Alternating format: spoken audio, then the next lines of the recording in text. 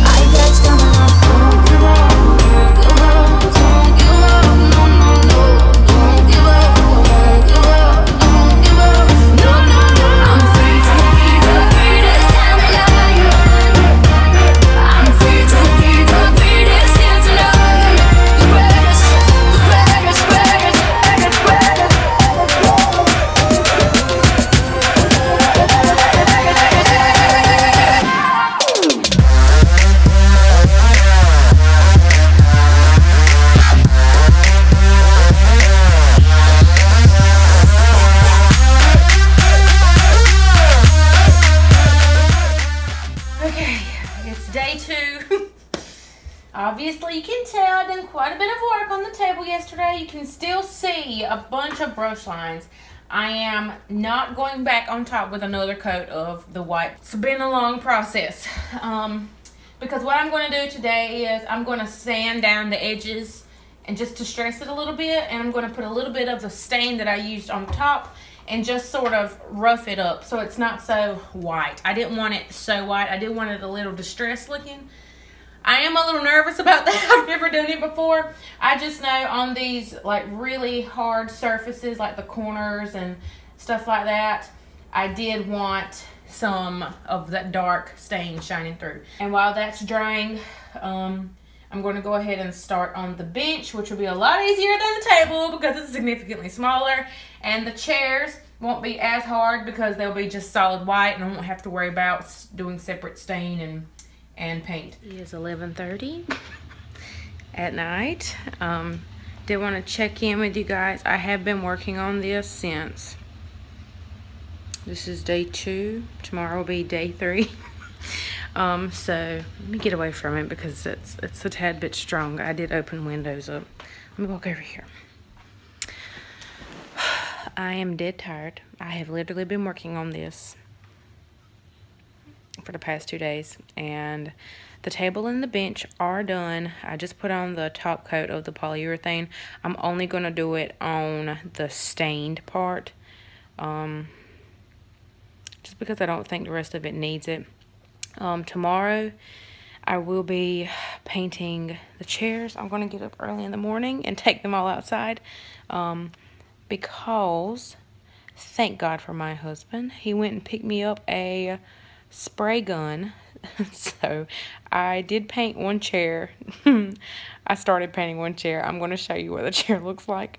Um, started painting one chair and I was like, I cannot do this for the rest of these chairs. My back's killing me. My butt was hurting. My knees are killing me. Like, because I was, you know, like kneeled down. I had like my knees on the floor. Why I didn't have something underneath my knees, I will never know. Because our floors are hardwood floors and they are hard wood, okay? But I did want to show you the finished product of the table and the bench. Um, the chairs will come later. This is what one coat of the paint looks like. It did look like that on the table, but I ended up doing five coats on the table. And it's just really hard to do five coats on all of this detail work. So that's where the sprayer is going to come in handy. But here is the table and the bench. As you can see, I did add some of the little detailed places. Sorry if you can hear the dishwasher going. That little distressing was a lot harder than it looks. And I looked up quite a bit of like tutorials and things on it, but it was a lot harder than it looked. I ended up painting over some of the spots with white paint, but that's done. so, yes. I will be inserting some footage after this, but hope you guys have a beautiful and blessed day, and thanks for watching.